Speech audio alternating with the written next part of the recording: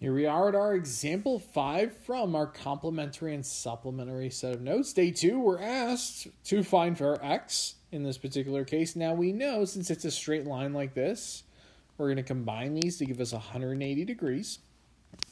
And so what we're going to do is go ahead and set all of these angles, combining them together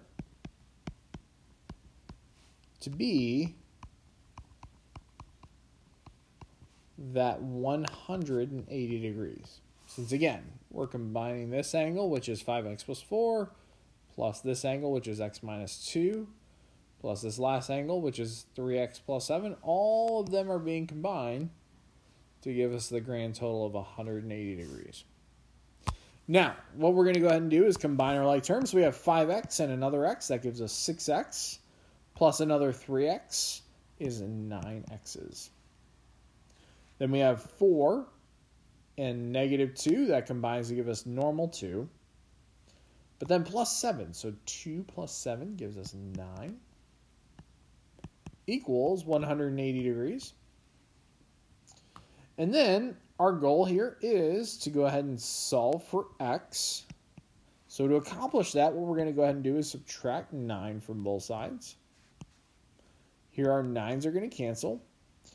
And when we do that, we end up with our 9x equals 171. Now, we're going to go ahead and divide that coefficient 9 on both sides. So 9s are going to cancel with one another, leaving us our x equals. Now, 171 divided by 9 is going to come out to be cleanly 19. Okay.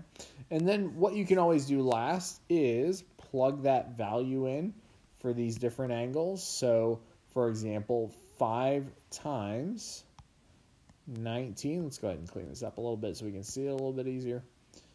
Um, 5 times 19 is 95 plus 4, which is 99 degrees. So this first angle right here is 99. This second one is 19 minus 2, which is 17.